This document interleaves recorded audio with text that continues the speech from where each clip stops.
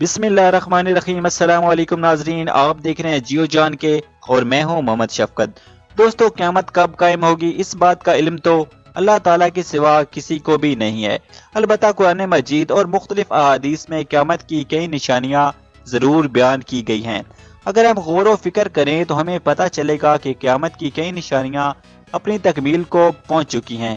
اور سب سے بڑھ کر سوال تو یہ ہے کہ ہم نے قیامت کے دن کے لیے کیا تیاری کر رکھی ہے۔ دوستو، آج کی ویڈیو میں ہم قیامت کی بڑی نشانیوں کے بارے میں بات کرنے والے ہیں، جو دو ہزار اٹھارہ کے سال میں مکمل ہو چکی ہیں۔ تو دوستو، ہماری ویڈیو کی ڈیٹیل میں جانے سے پہلے ہم آپ سے گزارش کریں گے کہ ہمارے چینل کو سبسکرائب کر لیں اور ساتھ ہی موجود گھنٹی کے بٹن کو بھی دبا دیں تاکہ ہمارے آنے والی ہر نئی ویڈیو کی اپڈیٹ آپ تک پہنچتی رہے۔ تو دوستو، قرآن مجید کی سورہ مزمل کی آیت سترہ کا ترجمہ ہے کہ اگر تم کفر کرتے رہو تو اس دن کے عذاب سے کیسے بچو گے جو بچوں کو بوڑھا کر دے گا؟ دوستوں چند ماہ قبل ہی بھارت کے ایک شہر میں ایک ایسا بچہ پیدا ہوا جو تین ماہ کی عمر کو پہنچا تھا تو اس کی جلد پر جھریاں ظاہر ہونے لگی اور ساتھ ہی جلد بوڑھے افراد کی طرح لٹکنے لگی۔ ہر آنے والے دن کے ساتھ اس بچے میں بڑھاپے کی نشانیاں زیادہ تیزی سے ظاہر ہونے لگی بوڑھے افراد کی مانت اس بچے کے اعضاء کمزور ہونے لگے۔ اور ساتھ ہی جوڑوں کا درد بھی رہنے لگا۔ چار سال کی عمر میں یہ بچہ ایک سو بیس سال کے بوڑھے شخص کی مانت دکھائی دینے لگا۔ تو صرف بھارت ہی نہیں بلکہ پاکستان سمیت کئی ممالک میں اب بچے انتہائی کمزور پیدا ہوتے ہیں اور جلدی ایسے بالکل بوڑھے مردوں کی طرح لگنے لگ جاتے ہیں۔ تو دوستو، بچوں کا اس طرح پیدا ہونا ظاہر کرتا ہے کہ قیامت اب زیادہ دور نہیں ہے۔ یوں قیامت کے یہ نشانی اب پوری ہوتی معلوم ہوتی ہے۔ اس کے بعد آتا ہے غرکت کے درخت کا نمبر۔ دوستو، حضرت ابو حریرہ رضی اللہ تعالیٰ عنہ سے روایت ہے کہ رسول اکرم صلی اللہ علیہ وآلہ وسلم کا ارشاد ہے کہ قیامت قائم نہ ہوگی۔ یہاں تک کہ مسلمان یہودیوں سے جنگ کریں اور مسلمان انہیں قتل کر دیں۔ یہودی پتھر یا درخت کے پیچھے چھپیں گے تو پتھر یا درخت کہے گا، اے مسلمان، اے عبداللہ یعنی اللہ کے بندے، یہ یہودی میرے پیچھے ہے، آؤ اور اسے قتل کر دو، سوائے غرکت کے درخت کے، کیونکہ وہ یہود کے درختوں میں سے ہے۔ تو دوستو، چار سے چھ فٹ کی اونچائی کے حامل اس درخت کو لگانے کے لیے یہودی پوری دنیا میں ایک ہی مہم چلا رہے ہیں۔ ایک اندازے کے مطابق تین کروڑ سے زائد درخت کاشت ہو چکے ہیں اور مزید لگائے جا رہے ہیں۔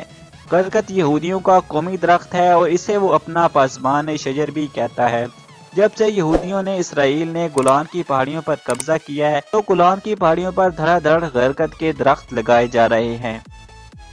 اس کے بعد نمبر آتا ہے بلند و بالا امارات کا۔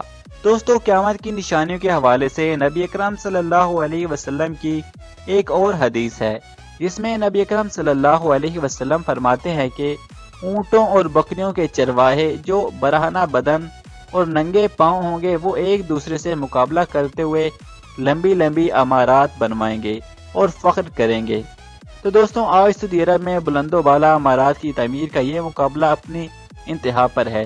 جب دبئی میں برج خلیفہ کی عمارت کو دنیا کی سب سے بلند ترین عمارت کا اعزاز حاصل ہوا، تو اسی وقت شہزادہ الولید بن طلال نے سعودی عرب کے شہر جدہ میں اس سے بھی بلند عمارت کی تعمیر کا اعلان کر دیا۔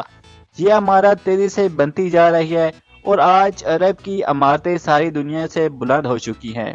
شہزادہ ولید بن طلال کی سعودی عرب میں بنائی جانے والی دنیا کی سب سے اونچی عمارت کی لمبائی ایک ہزار میٹر سے بھی زیادہ ہے۔ اور ایک حدیث مبارکہ میں اللہ تعالیٰ کے پیارے نبی حضرت محمد مصطفیٰ صلی اللہ علیہ وسلم فرماتے ہیں کہ قیامت سے پہلے سرزمین عرب دوبارہ سرسبز ہو جائے گی۔ آپ دیکھ ہی رہے ہیں کہ سعودی عرب اور امارات میں بارشوں کا آغاز ہو چکا ہے اور مکہ اور جدہ میں سیلاب تک آ چکے ہیں۔ عرب کی سرزمین کو جہاں پہلے ہی جدید ٹیکنالوجی کی مدد سے سرسبز بنانے کی کوشش کی جا رہی ہے، وہیں دوسری طرف بارشوں کی وجہ سے وہ قدرتی طور پر بھی سرسبز ہو رہے ہیں۔ سعودی عرب گندوں میں خود کفیل بھی ہو چکا ہے اور اس کے پہاڑوں پر بھی بارشوں کی وجہ سے سبزہ اگ رہا ہے۔ بارشوں کی وجہ سے سعودی حکومت کو ڈیم بنانا پڑیں گے، جس سے نہریں بھی نکلیں گی اور وہ مزید ہریالی کا باعث بنیں گی۔ اور یوں یہ قیامت کی نشانی بھی اپنی تکمیل کو پہنچ جائے گی۔ دوستو، قیامت کی ایک بڑی نشانیوں میں سے ایک نشانی یہ بھی ہے کہ رسول اکرم صلی اللہ علیہ وسلم کا فرمانا ہے کہ اتنی دیر تک قیامت قائم نہیں ہوگی جب تک میری امت کے قبائل مشرقین کے ساتھ نہ مل جائیں۔ اور یہاں تک کہ میری امت کے قبائل بتوں کی عبادت کریں گے۔ تو آپ نے کچھ عرصہ قبل متحدہ عرب امارات میں ایک مندر کا افتتاح کیا گیا۔ اس مندر کی افتتاحی تقریب میں دبئی کے بڑے بڑے شیخوں نے شرکت کی ہے اور وہ بڑی شان کے ساتھ اس تقریب میں حصہ لیتے ہوئے نظر آتے ہیں۔ قیامت کی اور بھی کئی نشانیاں ایسی ہیں جو بظاہر مکمل ہو چکی ہیں اور ایسا محسوس ہوتا ہے کہ وقت قریب ہی ہے۔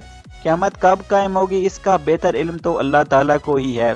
ہمارے لیے یہی بہتر ہے کہ جو لمحات میسر ہیں، انہیں آخرت کی تیاریوں میں صرف کریں۔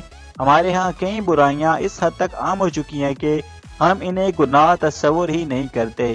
جیسے کہ رشوت اور زنا، جو ہمارے معاشرے کا ہی حصہ بن چکے ہیں۔ وہ دن دور نہیں جب ہمیں سفید لباس میں لپیٹ دیا جائے گا اور فرشتے حساب کتاب کے لیے آن پہنچے گے ہمیں سوچنا چاہیے کہ تب ہم کیا کریں گے۔ تو دوستوں، آج کی ویڈیو میں اتنا ہی۔ امید ہے کہ آپ کو پسند آئی ہوگی۔ تو اپنی رائے کا اظہار کرنے کے لیے کمنٹ کریں، ویڈیو کو شیئر کریں اور اس کو لائک بھی کریں۔ اور ساتھ ہی ہمارے چینل کو بھی سبسکرائب کریں اور گھنٹی کے بٹن کو دبا دیں تاکہ ہمارے آنے والی ہر نئی ویڈیو کی اپڈیٹ آپ تک پہنچتی رہے۔